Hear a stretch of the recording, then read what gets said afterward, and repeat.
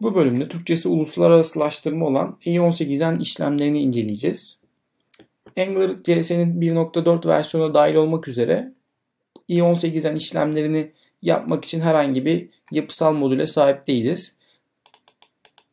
AngularJS Community tarafından geliştirilen oldukça popüler bir modül kullanacağız. AngularJS 2 versiyonu için bu konuda bir geliştirme yapma e, yol haritasında mevcut. Muhtemelen AngularJS 2 yayınlandıktan sonra e, i18'den işlemleri yapısal olarak da desteklenebiliyor olacak. Örneğimize bakalım. Config kullanımı ile ilgili bir modül tanımladık. Öncelikle modül tanımlamamızdan bahsedelim. Modül tanımladık. Eklediğimiz ekstra kaynağı modül bağımlılıklarımıza ekledik. Config ile modülümüzü uygulamamız çalışmaya başlamadan önce konfigürasyonların sağlandığını söylemiştik. Sadece provider'lar ve sabitler alabiliyor parametre olarak config. Çünkü runtime esnasında bir factory e, parametresi eklersek uygulamamız çökebiliyor. E, config'e bu modülün sahip olduğu Translate Provider isimli provider ekledik. Provider'ların da en temel görevinin factory'leri konfigüre etmek olduğunu söylemiştik.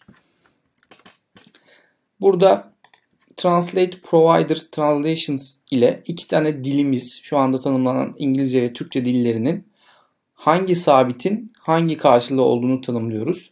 Text Hello AngularJS iken İngilizce'de Türkçe'ye çevrildiği zaman text'in karşılığı merhaba AngularJS oluyor.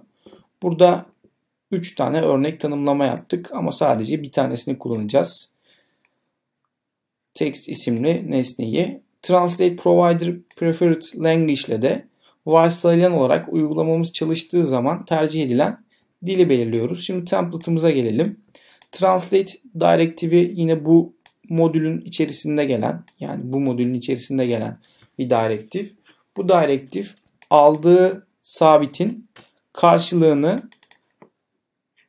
elementin içerisine yazdırıyor. Buradaki nesne text olduğu için ve kullandığımız varsayılan dil Türkçe olarak işaretlendiği için paragrafın içerisinde merhaba Angular JS yazmasını bekliyoruz.